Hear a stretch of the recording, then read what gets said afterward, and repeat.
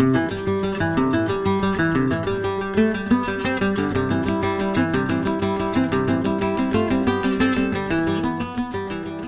und Hallo, liebe Orchideenfreundinnen und Orchideenfreunde. Kommen wir mal wieder zu einem Update beim Thema Orchideen. Schaut mal, eine wunderschöne Orchidee, wie ich meine, ist hier am Blühen und zwar die Octomeria grandiflora.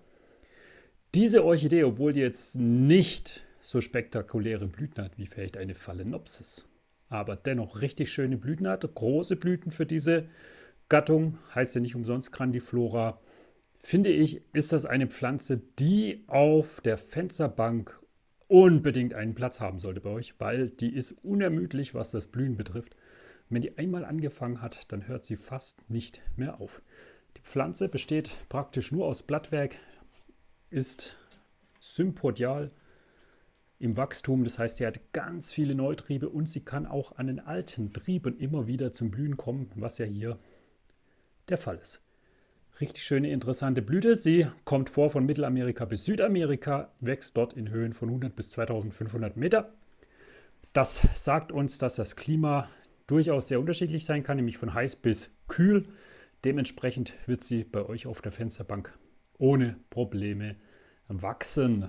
Ja, das war eine richtig tolle Orchidee, die ich absolut grandios finde.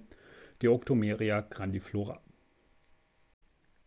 Bei der Oncidium morenoi bin ich hier immer noch am Warten, bis da mal der Blütentrieb am Blühen sein wird oder einzelne Blüten mal aufgeblüht sind. Da müssen wir uns ebenfalls noch ein bisschen in Geduld üben, aber es wird nicht mehr allzu lange dauern. Eine Orchidee, von der ich der absolute Fan bin und die ich euch immer wieder vorstelle, ist hier die Apenticulata elegans. Die hat zwar echt mini putzi wutzi fuzzi ähm, ja, mini kleine Nadelkopfgroße, Streichholzkopfgroße, besser gesagt, Blüten. Aber sie ist nonstop am Blühen und das ist einfach genial. Sie ist in der Pflege super einfach und macht somit einfach nur Spaß. Hier oben steht zwischengeparkt die Colegyne cristata. Sie ist mittlerweile am Verblühen. Noch blüht sie. Wird nicht mehr lange dauern, dann sind die Blüten weg. Macht aber nichts. Ihr seht, sie hält sich doch ganz wacker. Länger als gedacht. Also ich hatte immer so den Eindruck, die blühen gar nicht so lang. Aber ich finde, die Blüten sind richtig schön. Da sieht man, warum sie Engelsorchidee heißt. So richtig ein schöner, weißer, unschuldiger Engel. Ihr seht, die Manii ist aufgeblüht, die Phalaenopsis manii, die Naturform. Richtig schöne, tolle Blüte. Also ich finde von der Naturform die Blüten mit diesem Tigermuster, teilweise auch Leopardenmuster, ist einfach eine richtig schöne Sache und da freut man sich, wenn die am Blühen sind.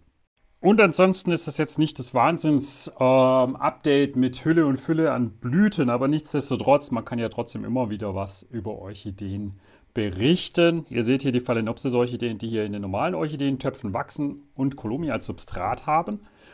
Und darauf wollte ich jetzt eigentlich gar nicht drauf zu sprechen kommen. Ich habe hier eine Oenia volucris, eine sehr, sehr spannende Pflanze, die hier in Kolomi wächst.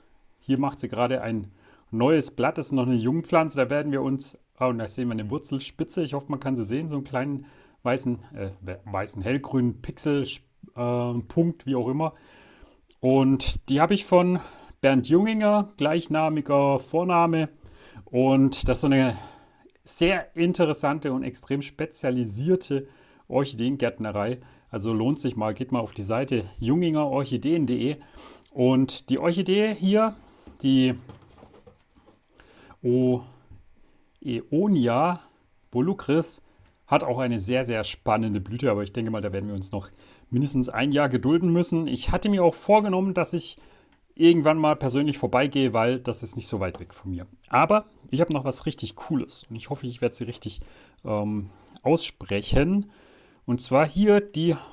Ähm, so, ich habe auch extra bei Herrn Junginger angefragt, ob ich das Bild verwenden kann. Darf ich verwenden? Und zwar ist es eine Neococniauxia monophylla. Die stammt ursprünglich aus Jamaika. Das wird in ein bis zwei Jahren auf jeden Fall die Blüte sein. Richtig schön knallorange. Und diese Orchidee, die wollte ich schon sehr lang bei mir in Kultur haben. Leider hat er aktuell nur Jungpflanzen, aber das heißt ja nichts. Jungpflanzen können auch groß werden. Das war ja bei uns auch nicht anders. Wir waren ja auch mal Jungpflanzen. Ja, so wird sie blühen. Und das sind die Pflänzchen. Ich habe mich bewusst, also wirklich bewusst dafür entschieden, dass ich sie in Kolomi pflanze.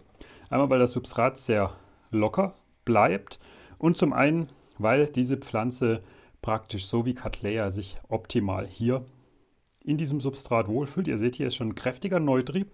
Das ist aber mit Sicherheit nicht der Neutrieb, der dafür sorgen wird, dass die Pflanze am Blühen ist. Ich habe mir bewusst zwei Pflanzen bestellt. Einfach deshalb, weil ähm, kann ja immer mal passieren, dass eine Pflanze irgendeinen Schaden erleidet. Ihr seht aber, die Pflanze hier hat auch einen schönen kleinen Neutrieb.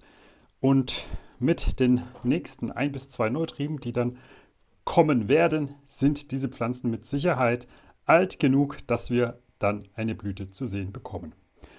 Auf jeden Fall will ich es mir ganz groß auf meine To-Do-Liste schreiben, dass ich bei Herrn Jünginger vorbeischaue und mal gucke, was der so in der Gärtnerei, Gärtnerei hat, was da am Blühen ist. Und ich denke mal, das wird ein ganz spannendes Thema. Ansonsten schreibt mal rein, ob ihr auch solche besonderen Orchideen pflegt und hegt. Würde mich interessieren. Ansonsten wie immer Daumen hoch, Kanal abonnieren. Bis zum nächsten Orchideen-Update. Bis dahin und tschüss. Und dann mache ich auf jeden Fall auch ein reines Video zu dieser Pflanze, denn die ist sehr, sehr, sehr spannend und cool und ich hoffe leicht in der Pflege, zumindest bisher stellt sie sich nicht irgendwie komisch an. Bis dahin und tschüss.